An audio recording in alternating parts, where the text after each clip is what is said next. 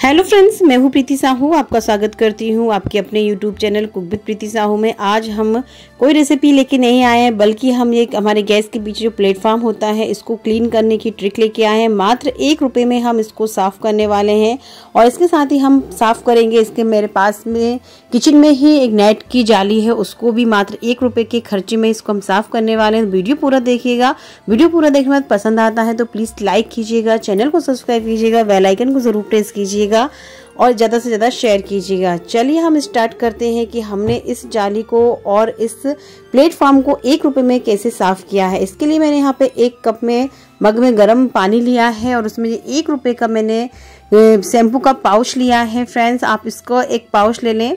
एक ही काफ़ी है इतने प्लेटफॉर्म उस जाली को साफ़ करने के लिए और आधा मग मेरा ये गर्म पानी है और इसको मैंने एक लकड़ी से, बेलन से इसको मैंने घोल लिया है। क्योंकि हाथ हम नहीं डाल सकते क्योंकि पानी ज़्यादा गर्म है और इस पानी को हम डाल के प्लेटफॉर्म के ऊपर डाल देंगे।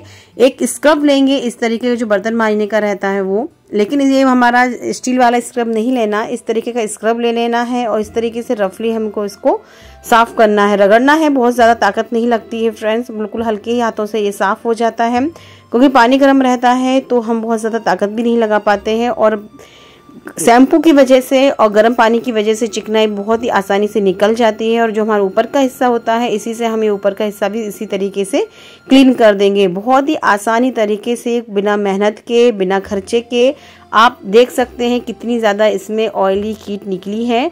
इस तरीके से आप उसको हल्के हाथों से रफली करेंगे तो साफ़ हो जाएगा। आप देख सकते हैं मैंने वीडियो में कि पूरी तरीके से मैंने इसको क्लीन कर दिया है। कोई भी ज़्यादा टाइम नहीं लगा है, मेहनत नहीं लगी ये देखिए कितना क्लीन स्क्रब निकल के आ रहा है अब।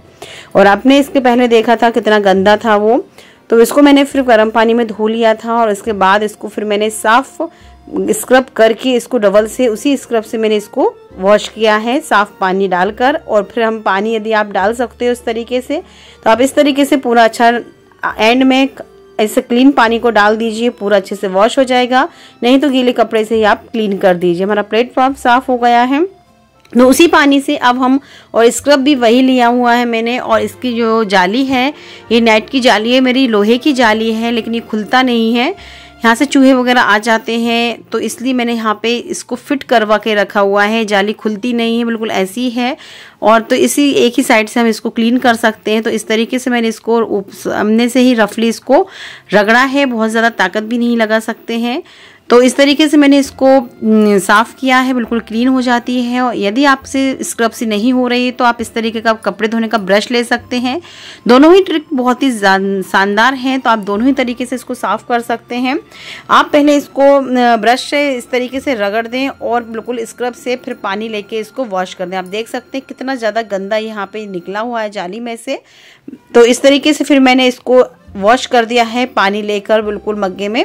तो इस तरीके से बिल्कुल क्लीन किया हुआ है और जाली आप देख सकते हैं कितनी ज़्यादा क्लीन हो गई है। बिना मेहनत के, बिना खर्चे के बहुत ही अच्छे से क्लीन हो गए हैं मेरे प्लेटफॉर्म और ये जाली। वीडियो पसंद आया है तो प्लीज़ लाइक कीजिएगा, मैं इसको कीट दिखा देती हूँ, ये देखिए।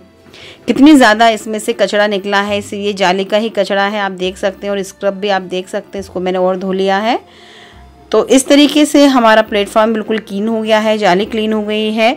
वीडियो आपको पसंद आया है तो प्लीज़ लाइक कीजिएगा और अभी तक आपने चैनल को सब्सक्राइब नहीं किया तो प्लीज़ चैनल को सब्सक्राइब कीजिए, बेल आइकन को प्रेस कीजिएगा जिससे कि आपको नोटिफिकेशन मिल सके और आप मेरे वीडियो को वॉच कर पाएँ। ज़्यादा से ज़्यादा शेयर कीजिएगा। मिलते हैं नए, एक नए वीडियो में, एक नई रेसिपी के साथ। जब तक के लिए बाय बाय थैंक यू।